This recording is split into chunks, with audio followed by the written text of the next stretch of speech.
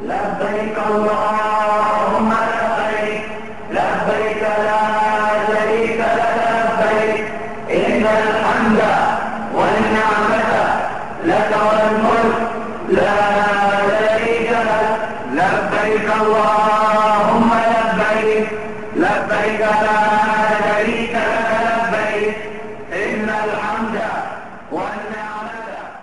الحمد لله رب العالمين والصلاة والسلام على رحمة للعالمين سيدنا ونبينا وقائدنا محمد وعلى آله وصحبه ومن والاهم إلى يوم الدين ప్రియ వీక్షకులారా హజ్ కానుక అన్న ఈ కార్యక్రమంలోకి మీ అందరినీ ఇస్లామీయ పద్ధతిలో ఆహ్వానిస్తున్నాము అస్సలాము అలైకుం వరహమతుల్లాహి వబర్కాతు ఈరోజు ఇన్షాల్లాహ్ మనం తెలుసుకోబోయే యొక్క ప్రవక్త ఇబ్రాహీం అలైహిస్లాం వారి జీవితానికి సంబంధించిన పాఠం ధర్మబోధ యువకుల కర్తవ్యం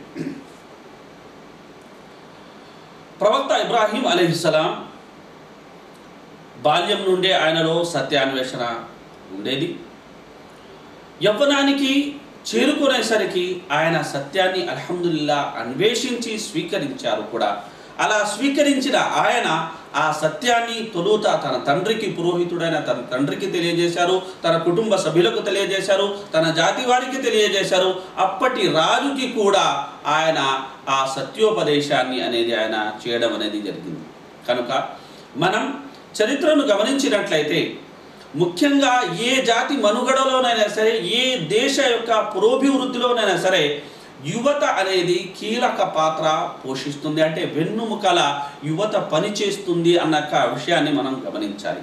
కనుక అస్హాబె కహఫ్ గుహవారి గురించి తెలియజేస్తూ అల్లాహ్ సుబ్హాన హోతాలా సెలవిచ్చిన మాట ఇన్నహుం ఫిత్య వారు కొందరు యువకులుగా ఉండేవారు అని అల్లాహ్ సుబ్హాన హోతాలా సెలవిచ్చారు. అదేవిధంగా ఇబ్రాహీం అలీ ఇస్లాం గురించి ప్రస్తావిస్తూ జాతి వారు చెప్పిన ఒక మాట ఏమిటంటే యుకాలు లహు ఫతన్ యదుకురుహుం యుకాలు లహు ఇబ్రాహీం ఓ యువకుడు అతన్ని ఇబ్రాహీం పేరుతో పిలుస్తారు అని సెలవిచ్చారు. కనుక మనం గమనించాల్సిన విషయం ఏంటంటే సమాజంలో కావాల్సినంత మార్పు ఎవరు తీసుకురాగలరు అంటే అన్యులతో పాటు ముఖ్యంగా యువత గనక పూనుకున్నట్లయితే ఒక సమాజంలో గొప్ప మార్పుకి వారు శ్రీకారం చుట్టగలరు. కనుక మహనీయ మహమ్మద్ సల్లల్లాహు అలీ వసల్లం వారు సెలవిచ్చిన ఒక విషయాన్ని మనం గమనించినట్లయితే యవ్వనంలో చెయ్యబడిన ప్రార్థనకు అల్లాహ్ సుబహాన హోతాల దగ్గర మహా గొప్ప ప్రాధాన్యత ఉంటుంది అన్న విషయం ప్రవక్త మొహసరస్వం వారు తెలియజేయడమే కాకుండా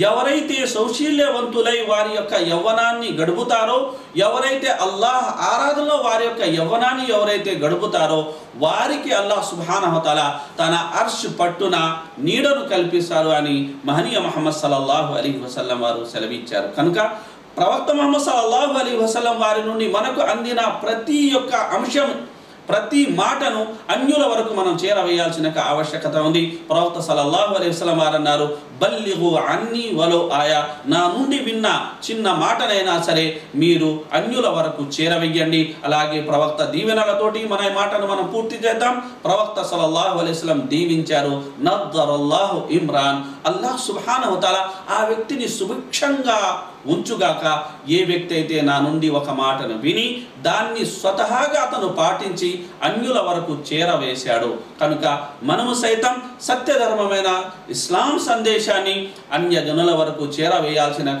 ఆవశ్యకత ఎంతైనా ఉంది. చేరవేస్తారని ఆశిస్తూ సెలవు తీసుకుంటున్నాము. వస్సలాము అలైకుం వరహమతుల్లాహి వబర్కాతు.